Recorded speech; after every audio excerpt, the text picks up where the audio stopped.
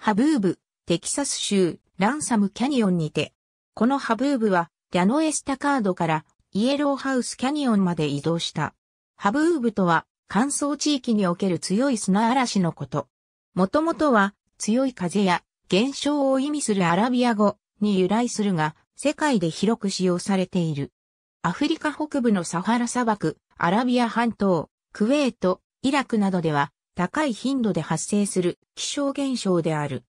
北アフリカのハブーブはギニア湾からの湿った空気が南側にあり、その空気と砂漠の乾燥した空気との境目にできる、いわば夏の前触れの前線とされる。一方、イラクやクウェートのハブーブは雷雨を伴う場合が多い。北アメリカの乾燥地域でも、ハブーブが時折発生する。アメリカでハブーブが多いのはアリゾナ州であり、主要都市ではユマやフェニックスなどで特に多い。雷雨を伴う場合は、嵐の移動方向の前面だけではなく、後方も含めてあらゆる方向に風が吹き、ハブーブの砂嵐が襲来する。ただ、雨が降り始めると、風向きは一転して前面で強風が吹き荒れる。ハブーブの砂嵐は下降気流、特にダウンバーストなどの突風で発生する。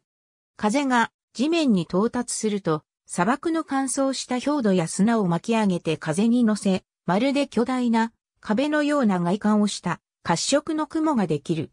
砂の壁は最大で幅 100km にも達し、高さも数キロメートルに達する。ハブーブの移動速度は時速35から 50km くらいで、備える暇もなく襲来してしまう場合がある。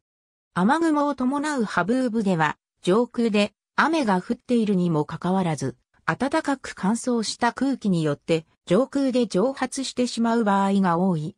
また、大量の砂塵が舞っている場合は、砂塵が水分を含んで降り注ぐマッドストームズとなることもある。ハブウーブの際は、主に屋外では呼吸器や目が影響を受けるので、対策を取る必要があり、ひどい場合には、シェルターなどに避難した方が良いとされている。ありがとうございます。